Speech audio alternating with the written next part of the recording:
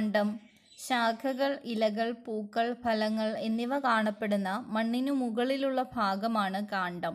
കാണ്ഡം എന്ന് വെച്ചാൽ മണ്ണിനു മുകളിലുള്ള ശാഖകൾ ഇലകൾ പൂക്കൾ ഫലങ്ങൾ എന്നിവ കാണപ്പെടുന്ന ഭാഗമാണ്. കാണ്ഡം ഭ്രൂണത്തിന്റെ ബീജശീർഷത്തിൽ അതായത് പ്ലൂമ്യൂളിൽ നിന്നുമാണ് രൂപപ്പെടുന്നത്. വേര് രൂപപ്പെട്ടത് ബീജമൂലത്തിൽ നിന്നാണ് അതായത് റാഡിക്കിളിൽ നിന്നാണ്. കാണ്ഡം രൂപപ്പെട്ടത് ബീജശീർഷത്തിൽ നിന്നാണ് പ്ലൂമിയോളിൽ നിന്നും. കാണ്ഡത്തിൽ പർവം പർവാന്തരം എന്നിവ കാണപ്പെടുന്നു. അതായത് നോഡും ഇന്റർനോഡും കാണ്ഡത്തിലെ പർവത്തിൽ നിന്നാണ് ഇലകൾ ഉണ്ടാകുന്നത്. രണ്ട് പർവങ്ങൾക്കിടയിലുള്ള ഭാഗമാണ് പർവാന്തരം ഇന്റർനോഡ് കാണ്ഡത്തിൽ അഗ്രമുകുളങ്ങളും അതായത് ടെർമിനൽ ബഡ്സും അക്ഷീയ മുകുളങ്ങളും ആക്സിലറി ബഡ്സും കാണപ്പെടുന്നു. എന്തൊക്കെയാണ്? ടെർമിനൽ ബഡ്സ് അഗ്രമുകുളങ്ങളും അക്ഷീയ മുകുളങ്ങളും ടെർമിനൽ ബഡ്സും ആക്സില ആക്സിലറി ബഡ്സും കാണപ്പെടുന്നു.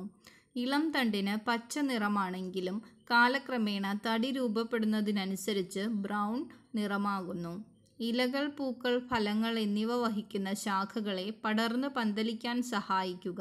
ജലവും ലവണങ്ങളും പ്രകാശ സംശ്ലേഷണ ഉൽപ്പന്നങ്ങളും സംവഹനം ചെയ്യുക എന്നിവയാണ് കാണ്ഡത്തിന്റെ ധർമ്മങ്ങൾ. എന്നാൽ ചില കാണ്ഡങ്ങൾ ആഹാര സംഭരണം സംരക്ഷണം കായിക പ്രത്യുൽപാദനം താങ്ങ് നൽകൽ എന്നീ ധർമ്മങ്ങളും നിർവഹിക്കുന്നു. രൂപാന്തരം കാണ്ഡത്തിൽ.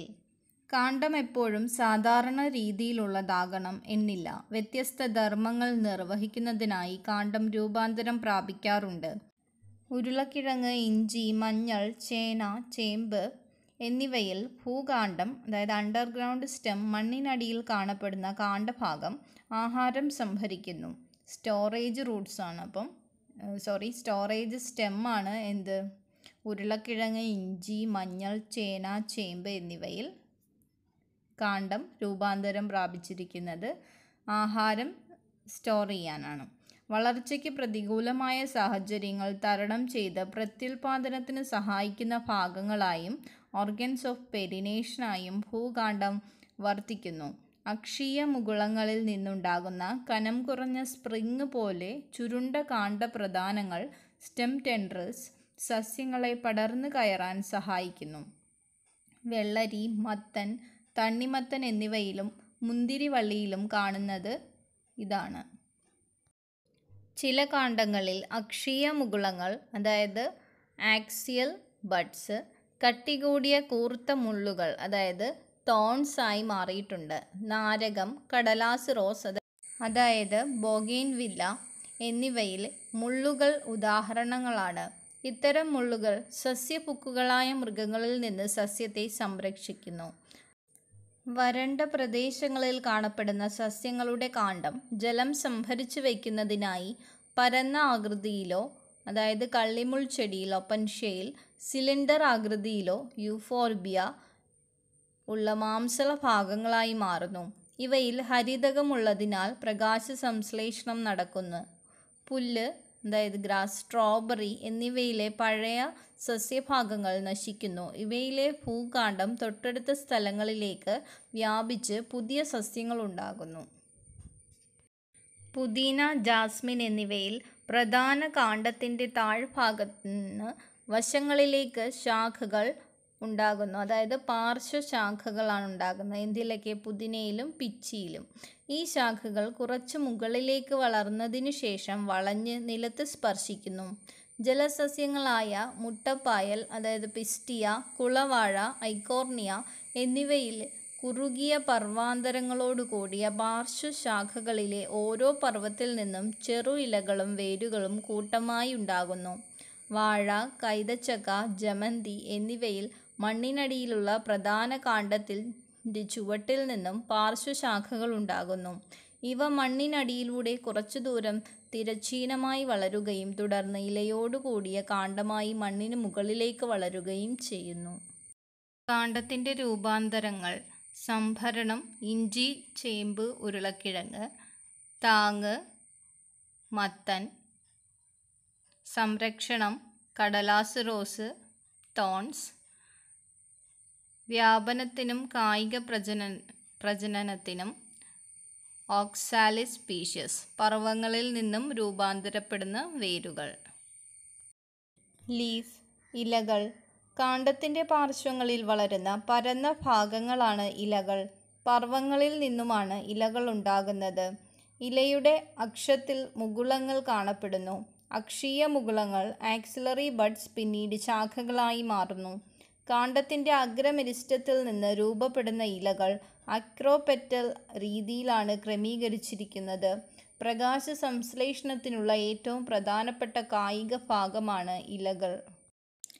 ഒരു സാധാരണ ഇലയ്ക്ക് പ്രധാനമായും ലീഫ് ബേസ് പീറ്റിയോൾ ലാമിന എന്നീ മൂന്ന് ഭാഗങ്ങളാണുള്ളത്. ഇലയെ കാണ്ഡവുമായി ബന്ധിപ്പിക്കുന്ന ഭാഗമാണ് ലീഫ് ബേസ് ചില സസ്യങ്ങളിൽ ലീഫ് ബേസിന്റെ വശങ്ങളിൽ രണ്ട് ചെറിയ ഇലകൾ പോലുള്ള ഭാഗങ്ങൾ കാണാം. ഇവയാണ് സ്റ്റിപ്യൂൾസ് ഏകബീജപത്ര സസ്യങ്ങളിൽ ലീഫ് ബേസ് പരന്ന് കാണ്ഡത്തെ പൂർണമായോ ഭാഗികമായോ ആവരണം ചെയ്യുന്നു. ചില പയറുവർഗ സസ്യങ്ങളിൽ ലീഫ് ബേസ് വീർത്ത് പൾവിനസായി മാറുന്നു. ഇലയെ പ്രകാശത്തിന് അഭിമുഖമായി നിർത്തുന്നത് ഇലഞ്ഞെട്ടാണ് അതായത് പീറ്റിയോളാണ്. കാറ്റത്ത് ഉലയാൻ ഇലയെ സഹായിക്കുന്നത് നീളം കൂടിയ കനം കുറഞ്ഞ വഴക്കമുള്ള ഇലഞ്ഞെട്ടാണ്. ഇതുമൂലം ഇലകൾ തണുക്കുകയും ശുദ്ധവായു ഇലയുടെ ഉപരിതലത്തിലേക്ക് എത്തുകയും ചെയ്യുന്നു. ഇലയുടെ പരന്ന ആകൃതിയിൽ പച്ച നിറമുള്ള ഭാഗമാണ് ലാമിന അഥവാ ലീഫ് ബ്ലേഡ്. ഇലയുടെ പരന്ന ആകൃതിയിൽ പച്ച നിറമുള്ള ഭാഗമാണ് ലാമിന. ഇവിടെ സിരകളും അതായത് വെയിൻസും ചെറുസിരകളും വെയിൻലെറ്റ്സും കാണപ്പെടുന്നു. ലാമിനയുടെ മധ്യഭാഗത്ത് വ്യക്തമായി കാണുന്ന ഒരു പ്രധാന സിരയുണ്ട്. ഇതിനെ പ്രധാന സിര എന്ന് പറയുന്നു മിഡ് റിപ്പ് സിരകൾ ഇലകൾക്ക് ദൃഢത നൽകുന്നു കൂടാതെ ജലം ലവണങ്ങൾ ആഹാരം എന്നിവ സംവഹനം ചെയ്യുന്നതിനുള്ള പാതയായും വർത്തിക്കുന്നു. ഇലകൾ അവയുടെ ആകൃതി വശം അഗ്രം ഉപരിതലം ലാമിനയിലെ വെട്ടുകൾ അതായത് ഇൻസിഷൻസ് എന്നിവയിൽ വ്യത്യസ്തത പുലർത്തുന്നു. സിരാവിന്യാസം വീനേഷൻ. ഇലയുടെ ലാമിനയിൽ സിരകളും ചെറുസിരകളും ക്രമീകരിച്ചിരിക്കുന്നതിനെ സിരാവിന്യാസം എന്ന് പറയുന്നു. ചെറുസിരകൾ വലക്കണ്ണികൾ പോലെ ക്രമീകരിച്ചിരിക്കുന്ന സിരാവിന്യാസമാണ് ജാലിക സിരാവിന്യാസം റെറ്റിക്കുലേറ്റ് വീനേഷൻ. ലാമിനയിൽ സിരകൾ സമാന്തരമായാണ് ക്രമീകരിച്ചിരിക്കുന്നതെങ്കിൽ സമാന്തര സിരാവിന്യാസമാണ് പാരലൽ വീനേഷൻ ദ്വിബീജപത്ര സസ്യങ്ങളിൽ ജാലിക സിരാവിന്യാസവും ഏകബീജപത്ര സസ്യങ്ങളിൽ സമാന്തര സിരാവിന്യാസവുമാണ് കാണപ്പെടുന്നത്. വിവിധ തരം ഇലകൾ ലാമിന പൂർണമായതോ വെട്ടുകൾ ഉണ്ടെങ്കിൽ അവ പ്രധാന സിരയുമായി സ്പർശിക്കാത്ത തരത്തിലോ ഉള്ള ഇലയാണ് ലഘു ഇല സിമ്പിൾ ലീഫ്. കോമ്പൗണ്ട് ലീഫ് അഥവാ സംയുക്ത ഇല എന്നാൽ ലാമിനയിലെ വെട്ടുകൾ പ്രധാന സിര വരെ എത്തുകയും ലാമിനയെ പല ചെറു ഇലകളാക്കി അതായത് ലീഫ്ലെറ്റ്സ് ആക്കി വിഭജിക്കുകയും ചെയ്താൽ അത്തരം ഇലയാണ് സംയുക്ത ഇല അഥവാ കോമ്പൗണ്ട് ഇല.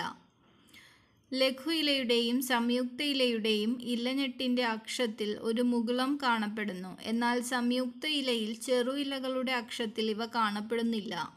സംയുക്ത ഇലകൾ രണ്ട് തരത്തിലുണ്ട്. ധാരാളം ചെറു ഇലകൾ ഒരു പൊതു അക്ഷമായി കാണപ്പെടുന്നു. റാച്ചിസിനെ ഇലയുടെ പ്രധാന സിരയായി കണക്കാക്കാം. ഇത്തരം ഇലകളാണ് പിന്നേറ്റിലി കോമ്പൗണ്ട് ഇലകൾ. ഉദാഹരണം വേപ്പ്. പാമേറ്റിലി കോമ്പൗണ്ട് ഇലയിൽ ചെറു ഇലകൾ പൊതുവായ ഒരു സ്ഥലത്താണ് ബന്ധിപ്പിച്ചിരിക്കുന്നത്. അതായത് റാച്ചിസിന്റെ അഗ്രഭാഗത്ത്. ഉദാഹരണം ഇലവ് സിൽക്ക് കോട്ടൺ. സംയുക്ത ഇലകളാണ് ഈ ചിത്രത്തിൽ കാണുന്നത്. പിന്നേറ്റിലി കോമ്പൗണ്ട് ഇലയും പാമേറ്റിലി കോമ്പൗണ്ട് ഇലയും. പിന്നേറ്റിലി കോമ്പൗണ്ട് ഇലയിൽ പൊതുവായ ഒരു റാച്ചിസ് കാണാം. അതിൽ നിന്നും ചെറിയ ഇലകൾ വരുന്നു. പാമേറ്റിലി കോമ്പൗണ്ട് ഇലകളിൽ ഇല റാച്ചസിന്റെ ടിപ്പിലാണ് ഇലകൾ കാണുന്നത്. പാം കൈപ്പത്തി പോലെയാണ് കാണുന്നത്.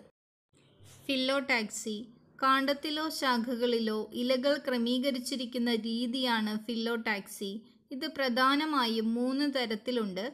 ഓൾട്ടർനേറ്റ് ഓപ്പോസിറ്റ് വേൾഡ് എന്നിവ. ഓൾട്ടർനേറ്റ് ഫില്ലോടാക്സിയിൽ ഒന്നിടവിട്ട രീതിയിൽ ഒരു പർവത്തിൽ നിന്നും ഒരില ഉണ്ടാകുന്നു. ചെമ്പരത്തി കടുക് സൂര്യകാന്തി എന്നീ സസ്യങ്ങൾ ഇതിന് ഉദാഹരണങ്ങളാണ്. ഓപ്പോസിറ്റ് ഫിലോടാക്സിയിൽ ഓരോ പർവത്തിൽ നിന്ന് ഒരു ജോഡി ഇലകൾ വിപരീത ദിശയിലുണ്ടാകുന്നു.